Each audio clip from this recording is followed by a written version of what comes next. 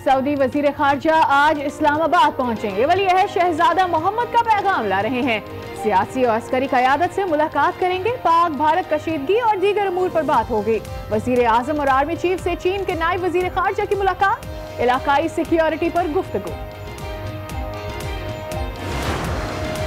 भारत का बोक्स कम ना हुआ। करतारपुर से मुतालिक पाकिस्तानी वफ्द को दिल्ली आने से रोक दिया। मुजाकर 14 मार्च को वाहगा अटारी सरहद पर होंगे। भारतीय वजारत खारजा का बयान। वज़ीर अजम इमरान खान की जेर सदारत वफाकी काबीना का इजलास आज होगा। मुल्क की सलामती और मुआशी सूरत हाल समेत एजेंडे में अट्ठारह नुकात शामिल हैं। वजारतों के तहत सरकारी इदारों के असासों की मालूम की फरहमी पर भी गौर किया जाएगा। सुजुकी स्टैंड के करीब फायरिंग करके मारा गया। तीन अफराज शदीद जख्मी, एक मुलजिम गिरफ़्तार, मकतूल के भांजे को गिरफ़्तार किया गया है वुरसा की दुहाई। लाश लेने से इनकार कर दिया पुलिस पर असल कातिलों को तहफ़ देने का इल्ज़ाम।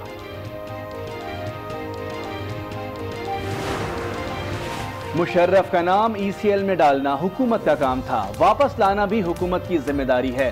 संगीन गद्दारी केस में चीफ जस्टिस के रिमार्क्स। कहा वो नहीं आ सकते तो स्काइप पर बयान रिकॉर्ड करा दें। मुशर्रफ को वापस लाने से मुतालिक जवाब तलब कर दिया। समात 25 मार्च तक होगी। पाकिस्तान सिटीजन पोर्टल की जानब से अवामी शिकायत का अजाला। उनतीस हज़ार नौजवानों की वजायफ की वाजिबुल अदा रकम जारी। वजारत खजाना ने चौरानवे करोड़ रुपए की मंजूरी दे दी। वाजिबात इसी हफ़्ते अदा कर दिए जाएँगे।